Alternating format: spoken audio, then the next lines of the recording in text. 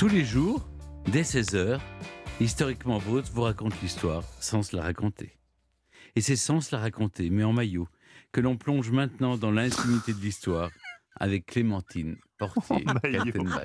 c'est quoi ce lancement ah, Aujourd'hui, Clémentine, vous n'êtes pas venue seule, vous êtes venue avec votre belle-mère. Oh oui, ah. oh oui, oh oui. Hein, euh, médisance, jalousie, méchanceté, fourberie. C'est la mère d'un hein. des deux?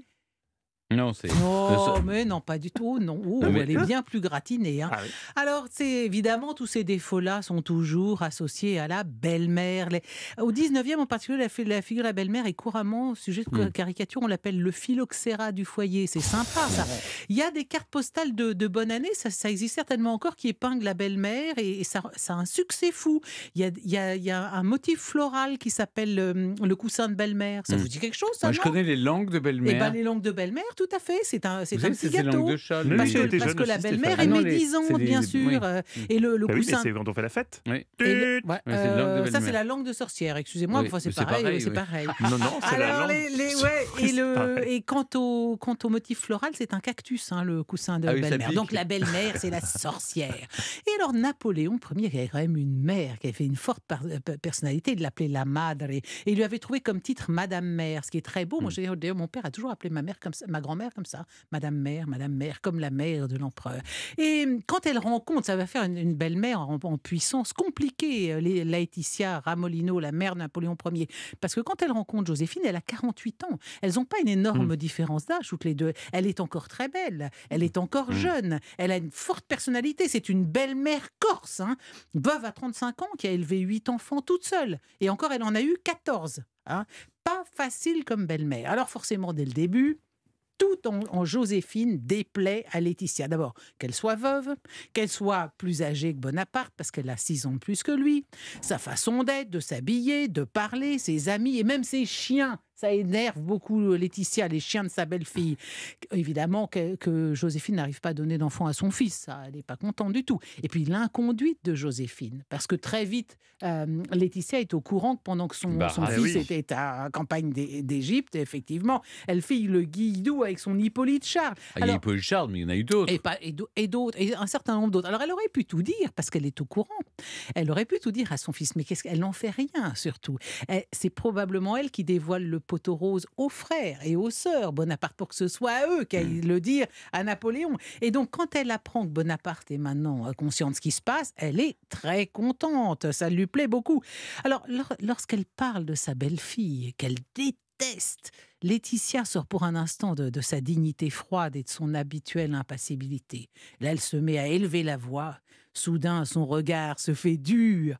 Elle se laisse jusqu'à jusqu'à injurier. Elle va jusqu'à injurier celle qui, à ses yeux, déshonore le clan, déshonore toute la famille. Donc elle espère qu'une chose, c'est que son fils divorce. Et par chance, par chance, comme ils ne se sont pas mariés religieusement, ah. elle espère, elle espère qu'un jour il divorcera, il se débarrassera de cette vieille peau, et puis euh, son, son mariage suivant pourra être béni parce qu'il n'est pas marié religieusement.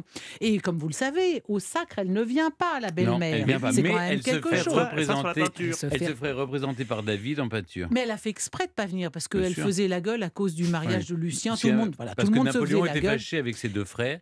Et en plus, les, ce qu'on ne voit pas sur le tableau, c'est que les filles de, de Laetitia ont marché sur la traîne de Joséphine pour essayer de la faire tomber. Alors elles ont, eh, oui, puis elles ont accepté d'avoir, euh, de porter la traîne de Joséphine à condition d'avoir elles-mêmes des porteuses de, hmm. de, traîne. Tout ça devait être assez ridicule. En tout cas, elle fait la gueule le jour du sac de son fils. Elle veut pas voir le triomphe de, Joséphine.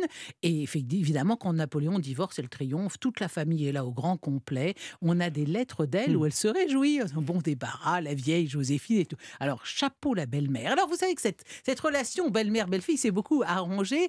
Pourquoi? Parce que notamment, il n'y a, a, plus la cohabitation dans un même domicile. Alors qu'au 19e, tous ensemble. Exactement. Et quand un, mari mourut, la, belle-mère venait s'installer avec son fils et sa belle ou sa fille. Donc euh, c'est pas étonnant que la belle-mère soit devenue cette, cette, euh, cette figure détestée. Et voyez-vous, aujourd'hui encore en Italie, un divorce sur trois est lié à la belle-mère. Du coup, en Italie, on a créé des écoles de, bonne, de belle-mère.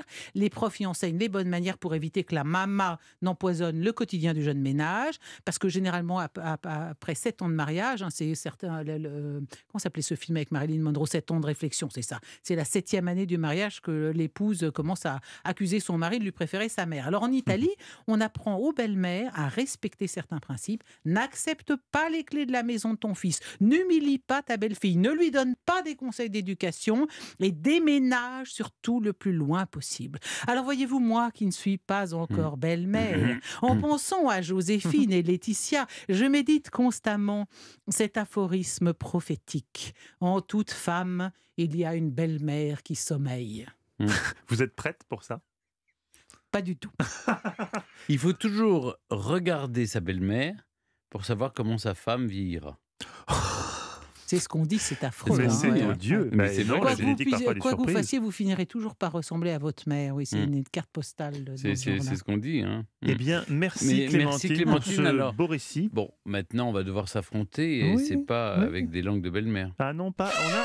Ah voilà une langue de belle-mère. Vous voyez, c'est hmm. ça une langue de belle-mère. Et vous dites une langue de sorcière. Langue, moi, j'appelle ça une langue de sorcière. Pour moi, les langues de belle-mère, c'est plutôt la langue de chat, non? Pas ça non? Oui, mais en fait, les langues de chat, c'est un bonbon. Pas du tout. C'est des biscuits. C'est des biscuits. Oui. Et c'est aussi un bonbon, me signale-t-on en régie. Non, non, c'est pas sur les trucs générationnels, Mathieu, écrasez-vous, parce qu'on est, on est plus fort que vous. C'est ce que je disais. Je disais, c'est un biscuit. qui, est, qui est le con qui a dit c'est une